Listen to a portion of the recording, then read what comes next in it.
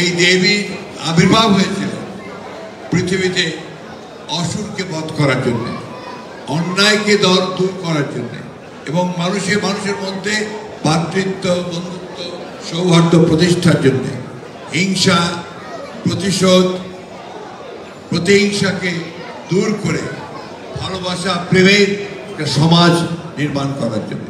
পূজা একটা বিশেষ পরিস্থিতি উদযাপিত হচ্ছে। আমরা সবাই জানি যে দেশে একটা অভাবনীয়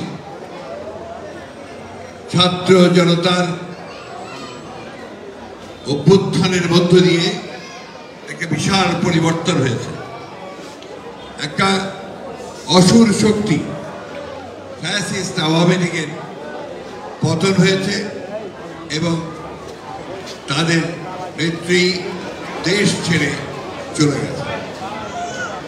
এই পরিস্থিতিতে এখানে একটা ইন্টারিম গভর্নমেন্ট অন্তর্বর্তীকালীন সরকার তৈরি হয়েছে, যেটাকে আমরা সমস্ত রাজনৈতিক দল এবং যারা বিপ্লবের সঙ্গে, বিদ্রোহের সঙ্গে, যারা সম্পৃক্ত ছিলেন সরাসরিভাবে, দেশের জনগণ, আমরা সমর্থন দিয়েছি। এই পরিপ্রেক্ষিতে এই পূজা উদযাপনের বিষয়ে আমরা তাৎক্ষণিকভাবে সারা আমাদের দলের পক্ষ থেকে আমরা আপনাদের সম্প্রদায়ের নেতৃবৃন্দ এবং যে পূজা উদযাপন কমিটি, তাদের সঙ্গে আমরা যোগাযোগ স্থাপন করেছি, মত বিনিময় করেছি এবং সর্বাত্মকভাবে আমাদের নেতা, আমাদের ভারপ্রাপ্ত চেয়ারম্যান জনাব তারেক রহমানের নির্দেশে আমরা প্রতিটি অঞ্চলে, প্রতিটি মণ্ডপে আমরা সেখানে সশরীরে উপস্থিত থাকার জন্য আমাদের নেত- নেতৃবৃন্দ, কর্মীবৃন্দ এবং তাদের সঙ্গে আমরা নির্দেশ প্রদান করা হয়েছে তারা এখন সেই কাজটি পালন করছে। প্রিয় ভক্তবৃন্দ, আমার বলার অপেক্ষা রাখে না, আমি বারবার কথা বলতে চাই না যে আপনারা সবাই জানেন যে যে দেবীর আজকে আপনারা আরাধনা করছেন, যাকে আপনারা মা দুর্গা বলেন, এবং এই দেবীর আবির্ভাব হয়েছিল পৃথিবীতে অসুরকে বধ করার জন্য, অন্যায়কে দর দূর করার জন্য এবং মানুষে মানুষের মধ্যে ভাতৃত্ব, বন্ধুত্ব, সৌহার্দ্য প্রতিষ্ঠার জন্য হিংসা, প্রতিশোধ, প্রতিহিংসাকে দূর করে ভালোবাসা, প্রেমের একটা সমাজ নির্মাণ করার জন্য। আজকে সেই সুযোগ আমাদের সামনে উপস্থিত হয়েছে। আমরা একটা ভয়াবহ দানবীয় শক্তিকে পরাজিত করে একটা সম্ভাবনা সৃষ্টি করতে সক্ষম হয়েছি, যেখানে আমাদের একটা নতুন বাংলাদেশ নির্মাণ করবার সুযোগ সৃষ্টি হয়েছে, যেখানে আমাদের মধ্যে কোনো ভেদ থাকবে না, ভেদাভেদ থাকবে না, ধর্মান্ধতা থাকবে না, সাম্প্রদায়িকতা থাকবে না, এক বর্ণের সঙ্গে আরেক বর্ণের কোনো প্রতিশোধ, প্রতিহিংসা বা ঘৃণার কোনো রাজনীতি থাকবে না। বন্ধুগণ আমরা অতীতেও এই মণ্ডপে, এই এখানে যখন এসেছি, আমরা মন্দিরে, আমরা বরাবরই আপনাদের নেতৃবৃন্দের সঙ্গে আমাদের যোগাযোগ হয়েছে। আপনারা জানেন যে দেশনেত্রী বেগম খালেদা জিয়ার সরকারের আমলে আমাদের তৎকালীন মেয়র সাদিক হোসেন খোকা সাহেব এবং আমাদের নেতৃবৃন্দের অহংকার মন্ত্রীদের প্রচেষ্টায় আপনাদের এখানে অনেকগুলো সমস্যার সমাধান করা হয়েছে। আমরা ইতিমধ্যে আপনাদের নেতৃত্বের সঙ্গে এই পরিবর্তনের পরে পরেই আমরা যোগাযোগ করেছি। আমরা আপনাদের পরিষদের নেতৃবৃন্দ হিন্দু সম্প্রদায়ের নেতৃবৃন্দের সঙ্গে আমরা আলোচনা করেছি, কথা বলেছি।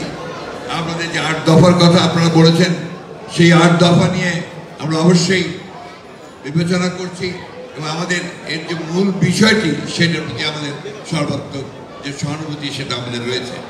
এবং আমরা আপনাদের এইটুকু বলতে পারি অতীতে যেমন আমরা আপনাদের সঙ্গে ছিলাম, আপনাদের প্রতিটি সমস্যায় আমরা পাশে এসে দাঁড়িয়েছি, ঠিক একইভাবে আগামীতেও আমরা আপনাদের সঙ্গে থাকব।